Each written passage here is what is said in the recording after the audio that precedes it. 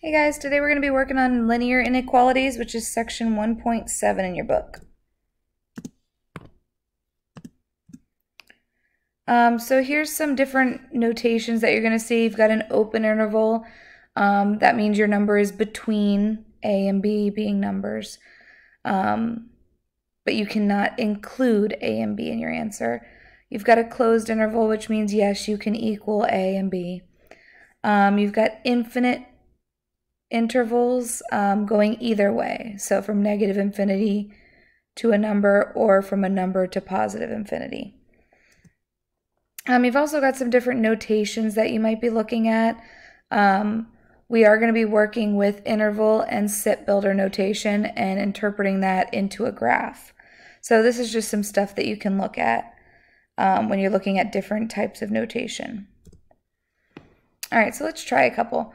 So right now these are in interval notation and we're gonna go ahead and put them in set builder notation. So you start off with x such that, and we want x to be between negative 2 and 5. And then I always go back and look and say, can it equal?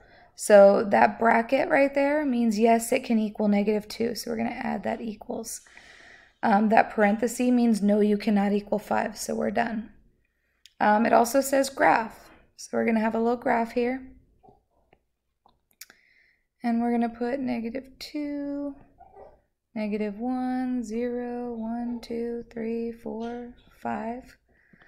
Um, so bracket for negative 2 because yes, we can equal negative 2.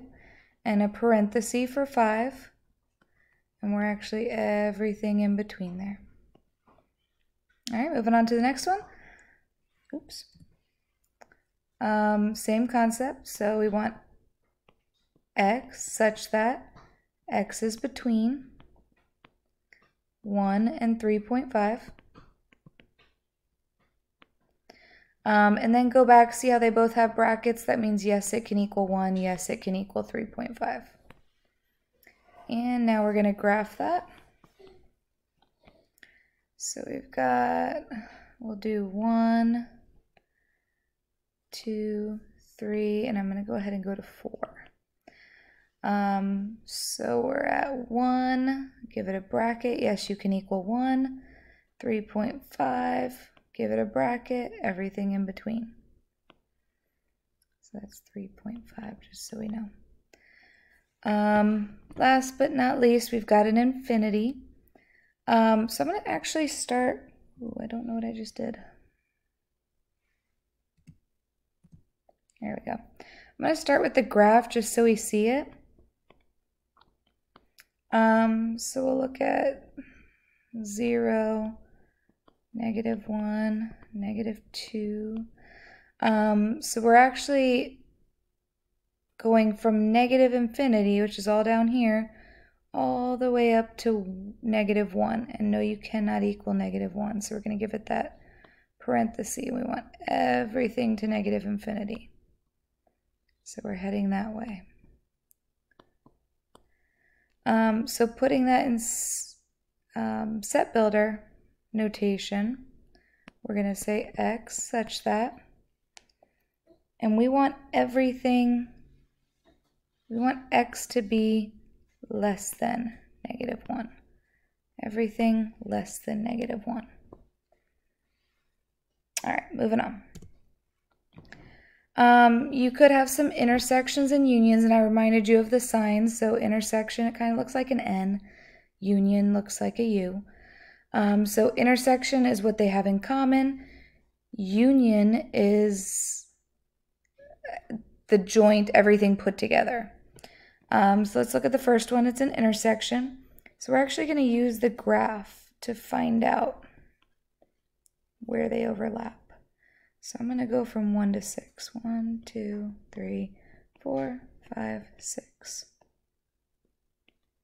And I'm going to get some different colors here just so we see it. Um, so from 1 to 3, and both of them get brackets. 2, 3, all right, there's my first one. And we'll get another one. Let's go with green. um, 2 to 6. So 1, 2, and that's going to get a parenthesis all the way to 6. So this is an intersection. So you want to see where they're overlapping, which is this part right here. All right, this is where they're overlapping.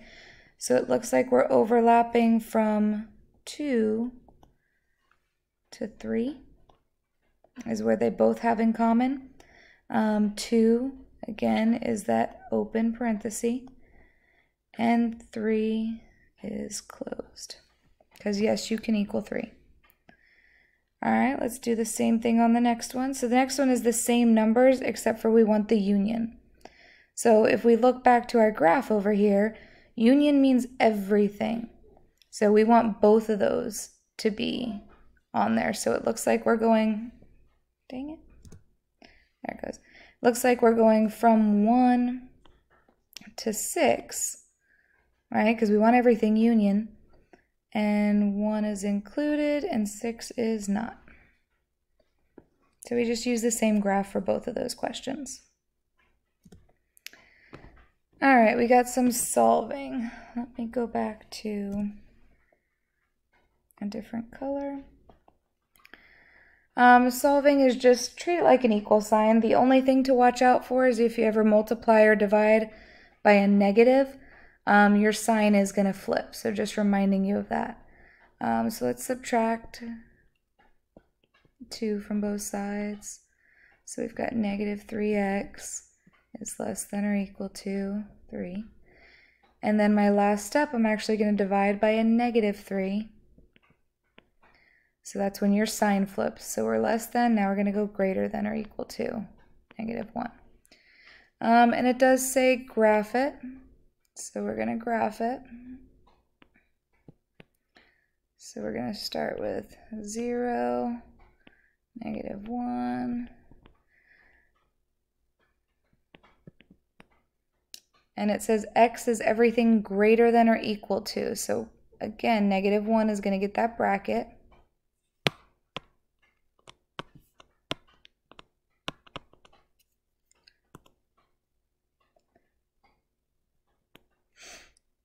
and we want everything greater than, so we're going to head all the way to infinity. How would you write that in interval notation? From negative 1 to infinity. Again, infinities always get that open parenthesis, and negative 1 is going to get a bracket, because yes, we can equal it. Um, next one, same concept, so subtract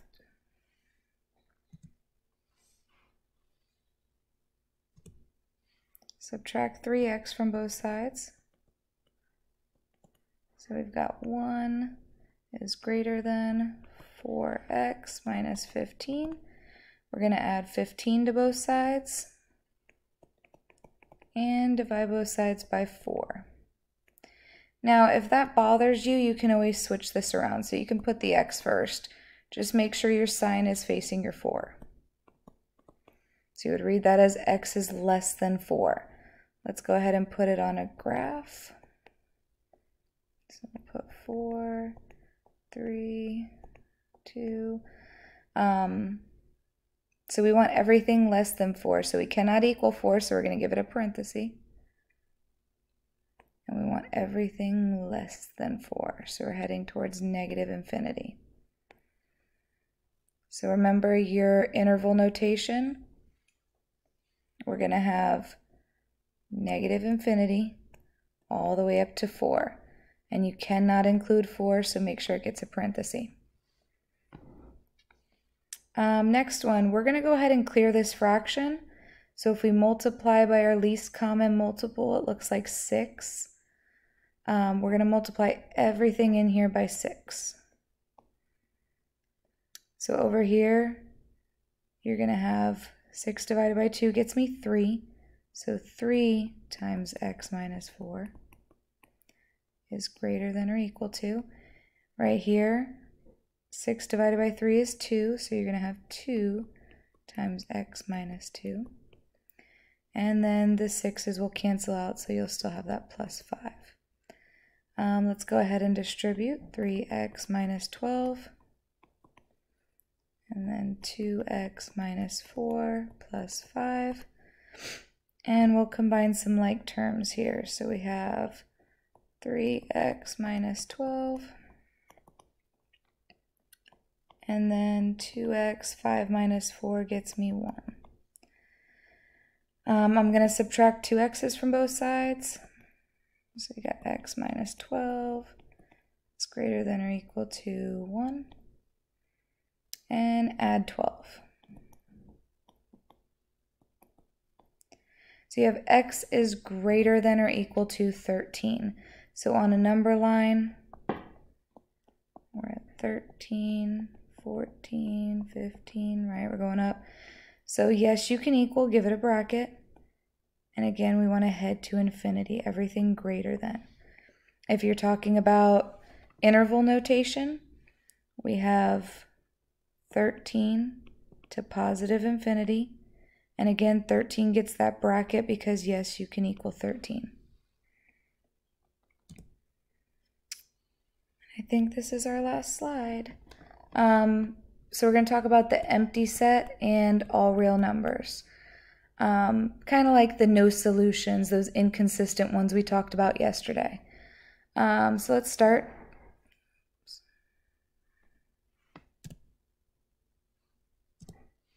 All right, distribute. Why is it doing this?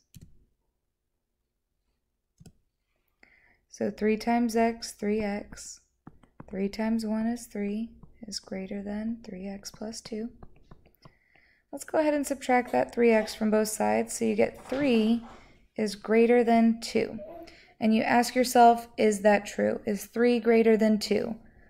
Yes, 3 is always greater than 2. And that's when you would have that all real numbers.